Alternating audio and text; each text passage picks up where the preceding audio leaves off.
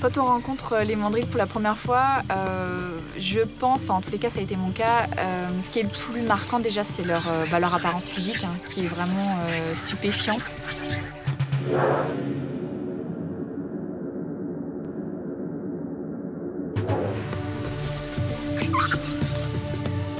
Typiquement, il y a six mois, c'était un adolescent qui était fin, et très peu coloré. Et donc, euh, en si peu de temps, vous voyez, il a pratiquement doublé de volume et il a pris ses couleurs chatoyantes euh, au niveau du, nez. Et idem au niveau du postérieur. Admettons qu'à partir de qu'un mâle est dominant à partir de 10 ans, combien de temps il va réussir à rester dominant? Sachant qu'il faut qu'il se batte en permanence pour maintenir son rang hiérarchique et que derrière, eh ben, il y a les, les autres qui poussent. quoi. Les mâles, ils arrivent à maintenir, enfin à garder la dominance pendant un an, deux ans, trois ans, quatre ans pour les plus forts, mais c'est tout. Quatre ans, c'est déjà énorme. Parce qu'en fait, c'est pour un mandril mâle, c'est vraiment épuisant euh, d'être dominant.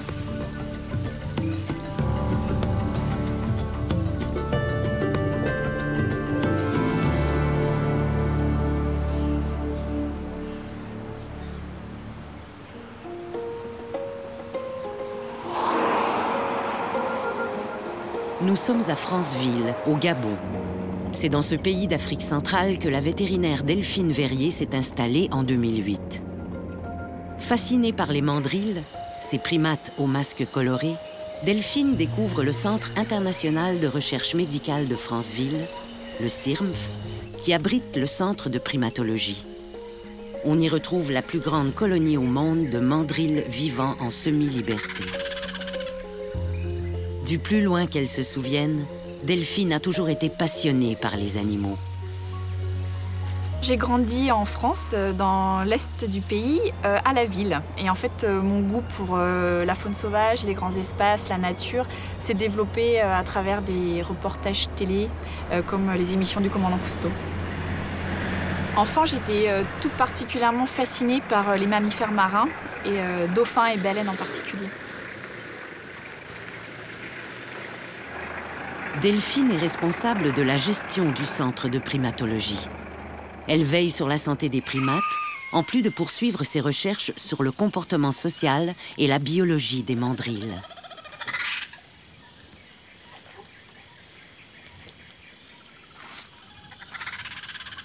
C'est quelque chose qui est euh, très amusant quand on travaille avec les primates. C'est euh, on, constate à quelle euh, vitesse ils sont conscients d'avoir un homme ou une femme en face d'eux. Donc ça, il n'y a aucun doute là-dessus. Et en tant que femme, c'est beaucoup plus facile pour moi de travailler avec les mandrilles et les grands singes que mes collègues masculins. je suis acceptée beaucoup plus vite. J'ai jamais de, de réaction d'agressivité et au contraire des animaux qui se méfient absolument pas de moi. Et c'est peut-être pour ça qu'une euh, grande majorité des, primatologues en fait sont des femmes. Alors ce qui est assez marrant avec ces singes aussi, c'est qu'ils sont euh, justement tellement habitués à interagir euh, entre individus qu'il est aussi extrêmement facile pour nous, en tant qu'observateurs, finalement, d'attirer leur attention et d'interagir avec eux en reproduisant bah, justement des mimiques qui vont, qui vont être signes d'apaisement. La colonie de mandrilles du CIRMF a été créée en 1983 avec l'introduction de 15 mandrilles orphelins issus de femelles qui avaient été tuées par les chasseurs. Ces mandrilles vivent dans un enclos naturel de forêt tropicale de 8 hectares et se sont reproduits au fil des années. Aujourd'hui, la colonie compte plus de 200 individus. En fait, on vient de repérer un animal qui boite. Donc on essaye de s'approcher un peu pour euh, voir ce qu'il peut y avoir. Hein. Donc Cinquel, c'est l'ancien dominant. Il a bien perdu, il était beaucoup plus rouge que ça. La compétition est rude. Les mandrilles en fait vivent dans une structure sociale qu'on appelle polygyne, c'est-à-dire qu'on a un mâle dominant qui va défendre un harem de femelles. Euh, et donc il va y avoir une, compétition intense entre mâles adultes pour justement avoir accès à ces femelles. Et donc pour, pour conserver le, monopole du, harem, donc de ces femelles, euh, bah, le mâle doit être euh, en fait en mesure d'éloigner tous les concurrents potentiels. Donc au bout du compte, c'est en général le plus gros et le plus fort qui l'emporte.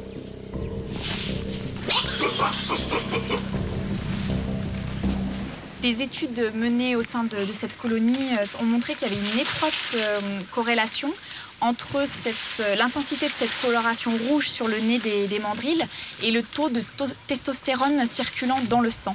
Et on sait qu'en fait, bah, le, taux de testostérone est étroitement lié, lui, à la dominance. Donc là, de par la perte de sa, dominance absolue, en fait, et eh ben, il se décolore. on voit bien ça. Et là, euh, il nous intéresse en fait puisqu'on l'a observé en train de, marcher tout à l'heure et il boite. Donc euh, a priori, on ne voit pas de plaie, mais un gonflement. Donc à suivre, à observer.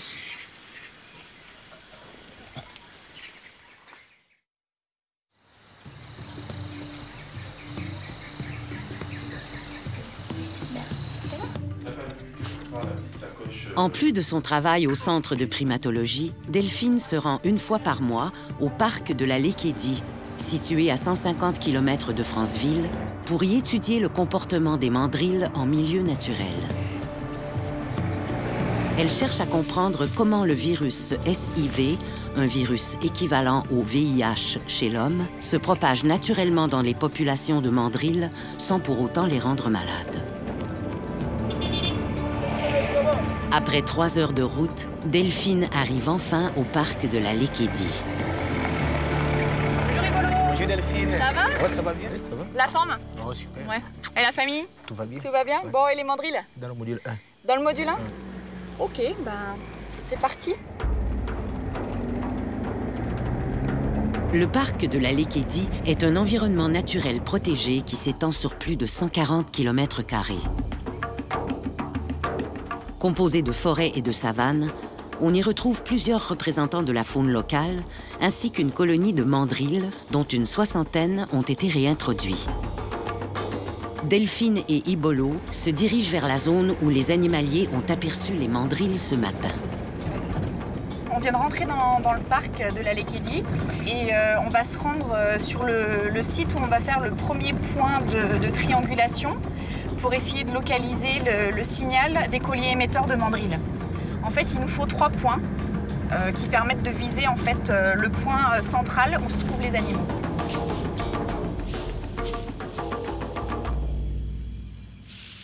Les mandrilles vivent principalement en forêt, où ils se nourrissent en majeure partie de fruits et de graines.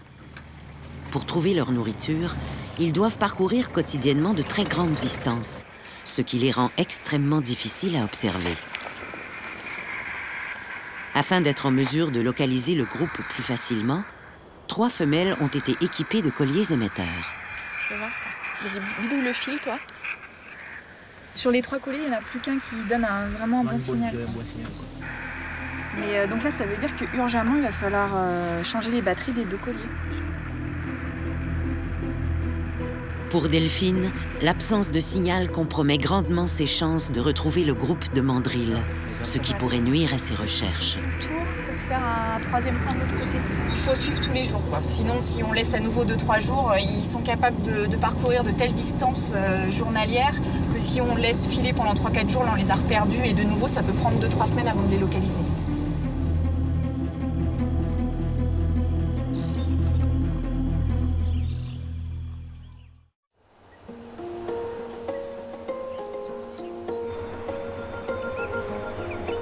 Certains mandrilles du parc de la Lékédie proviennent du centre de primatologie. Deuxième plus grand centre de recherche en virologie d'Afrique, il héberge plus d'une dizaine d'espèces de primates. En plus des mandrilles et des gorilles, on y retrouve la seule colonie au monde de cercopithèques à queue de soleil vivant en semi-liberté. Depuis quelques années, Peggy Motch étudie cette espèce endémique au Gabon qui a été découverte seulement en 1984. Elle se passionne pour ce petit primate que l'on connaît bien peu. On fait vraiment de l'observation tous les jours. Euh, on, interagit avec eux que lors des contrôles sanitaires.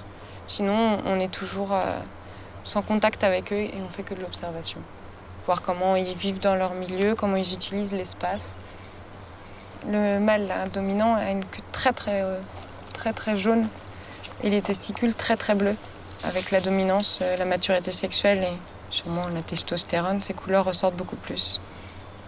C'est des animaux qui sont vraiment très difficiles à observer. Et donc il y a tout à découvrir. C'est là aussi, c'est là où est l'originalité de cette espèce, c'est vraiment qu'on ne sait rien. Alors le centre de primatologie, c'est, on va dire qu'on a deux grandes thématiques. La santé publique d'un côté, donc là ça va être par exemple l'étude des virus qui circulent euh, dans des colonies de primates sauvages ou dans des colonies de primates qu'on peut avoir ici, des virus naturels hein, qui ne rendent pas malades, comprendre comment ça circule. Et le deuxième aspect qui est vraiment spécifique au centre de primatologie, c'est la conservation.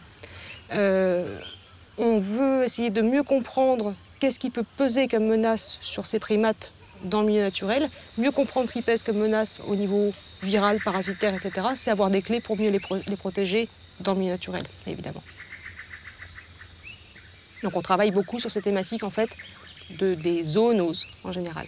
Les zoonoses, donc les maladies susceptibles de passer de l'homme à l'animal et de l'animal vers l'homme. Si tu veux une arachide, pour pas être venu pour rien? Alors pendant plusieurs années, on a laissé les, choses faire, on a laissé les animaux se reproduire comme ça euh, à tout venant. Et puis euh, posé le problème de la surpopulation, hein, puisqu'on a une superficie de 8 hectares et euh, à un moment il a fallu penser à réguler quand même la population pour pas avoir une surpopulation et une dégradation de l'environnement et l'apparition peut-être de, de, maladies. Alors il y a eu une première étape en 2002, puis en 2006, le CIRMF a transféré des mandrilles euh, dans le parc de la Lekedi à Bakumba. L'intérêt pour le centre de primatologie était simple, c'était tenter d'abord le premier relâché au monde de mandrilles. Et euh, bah, nous, c'était intéressant aussi au niveau scientifique de comprendre comment ces animaux allaient s'habituer à leurs nouvelles conditions au niveau comportemental, comment eux, avec la rencontre des mandrilles sauvages, comment les nouveaux virus, les nouveaux pathogènes qu'ils allaient rencontrer allaient se transmettre entre eux.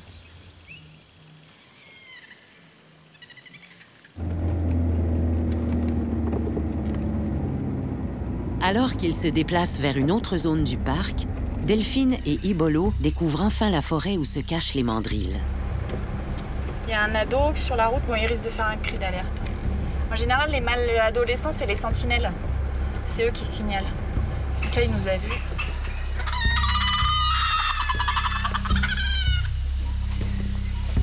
Pour les attirer à découvert, ils décident de procéder à la distribution de fruits de brousse et de gâteaux. Les mandrilles forment des groupes de taille variable, en général composés d'une centaine d'individus. Quoi qu'on ait pu observer dans le parc national de la Lopé, des groupes de plus de 1000 individus. Près de 95-96% des groupes sont constitués de femelles avec euh, leur descendance. Donc ils forment un groupe stable tout au long de l'année, même tout au long de leur vie. Et euh, c'est au moment de la période de reproduction, donc euh, entre juin et octobre, que de nombreux mâles adultes matures en fait se joignent au groupe euh, pour se reproduire avec les femelles.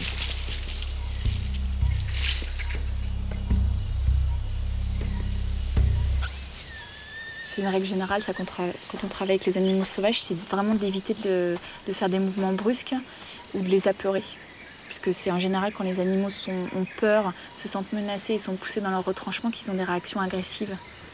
Donc euh, le mieux c'est de se faire oublier. Hein. Alors là, euh, hop, hop, hop.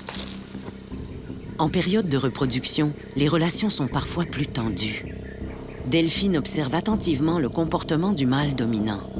Elle tente une mimique pour l'apaiser, mais celui-ci ne réagit pas. C'est sûr qu'il m'est arrivé d'être inquiet, et euh, particulièrement à une période bien précise, c'est-à-dire quand elle était enceinte. Parce qu'il faut dire qu'elle n'a pas arrêté le travail euh, de suite. On va reculer là. Delphine, c'est quelqu'un qui est de nature euh, optimiste. Donc, et puis très rigoureuse aussi dans ce qu'elle fait. Mais c'est vrai que N'empêche, hein, euh, les, accidents sont arrivés même euh, au plus rigoureux. Quoi. Donc c'est pourquoi, euh, d'une manière ou d'une autre, on est toujours un peu inquiet. Le problème, c'est moi ce que je crains un peu, c'est que le mâle dominant, il est, il est, sympa pour l'instant, mais je le trouve très insistant et il approche beaucoup de nous, quoi. Tu vois Donc ça, ça me plaît moyennement. Parce que le mâle n'est pas du tout agressif, hein, mais il est assez pressant.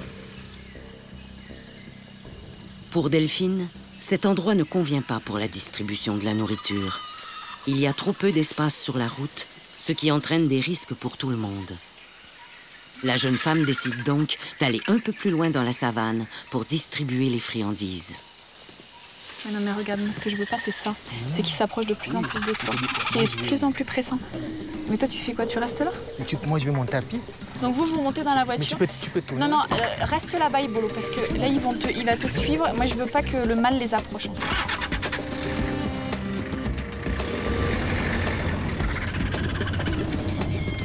Oui, Bolo, ils nous suivent là.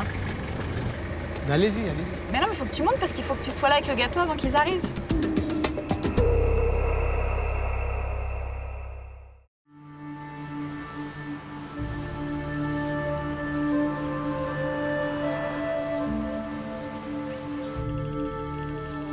La colonie de mandrilles du Centre de primatologie de Franceville est unique au monde en raison de sa taille et du suivi systématique effectué sur les individus depuis près de 30 ans. À partir de sa naissance, chaque animal est identifié. On lui attribue un numéro qui lui servira de nom tout au long de sa vie. Chaque année, des prélèvements sont faits pour évaluer le statut virologique des animaux. C'est pour mettre en valeur toutes ces données que l'équipe a décidé de mener ce projet de recherche sur les virus et de comparer ce groupe témoin avec la colonie du parc de la Lékédie. Tu prends le sac entier, il y a le mal qui arrive. Mais là-bas. Bolo, vas-y. Faut que ce soit toi qui sois devant, bien devant.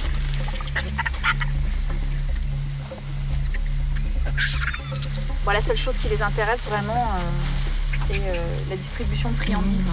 Parce que on le fait hyper rarement et, euh, du coup, bon, c'est euh, avec grand plaisir qu'ils accueillent cette petite friandise. Donc là, vous avez la femelle U2B, hein, donc, qui vient de la colonie du Siamph, qui a été relâchée en 2006, qui est équipée donc avec un, collier émetteur VHF, grâce auquel donc on, on peut repérer le groupe, et qui a donc un jeune bébé sous le ventre. Tous les bébés qu'on a là sous le ventre, c'est des bébés de l'année en fait. Hein. Donc là sur ma droite, vous avez une jeune femelle hein, qui en intumescence et vous avez un jeune mâle adolescent qui s'intéresse à son intumescence. Donc vous le voyez là qui renifle et hop tout de suite qu'est-ce qui se passe? Le mâle dominant arrive. Lorsque les mandrilles du CIRMF ont été relâchés dans le parc, aucun d'eux n'était porteur du virus SIV. Depuis, des mandrilles sauvages ont rejoint le groupe.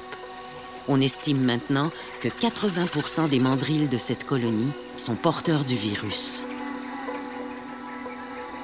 A priori, les virus SIV et STLV, ils semblent pas vraiment induire de maladie. Les mandrilles SIV, ils sont, euh, ils sont pas différents des autres, ils n'ont pas l'air malades. Donc ça, c'est une différence avec le HIV chez l'homme. Un homme qui s'infecte avec le HIV, il va être malade, il va développer un sida. C'est pas le cas chez le mandrill, a priori. Euh, vous allez vous ranger un petit peu parce qu'il y a un, mal, euh, un gros mal qui arrive. Par contre, ce qu'on ne sait pas, s'il n'y a pas de symptômes aigus, de maladie aiguë, peut-être que quand même ce virus, il a un coût et que peut-être l'individu va être moins capable de se reproduire, donc il va faire moins de petits et peut-être qu'il va vivre moins longtemps.